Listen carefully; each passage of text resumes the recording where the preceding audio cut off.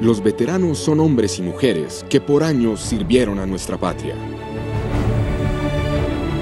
Que hoy dejaron de portar su uniforme, pero en su corazón serán soldados, infantes y policías por siempre. Con todas nuestras fuerzas, agradecemos y honramos a los veteranos de la Fuerza Pública. La seguridad es de todos. Ministerio de Defensa Nacional.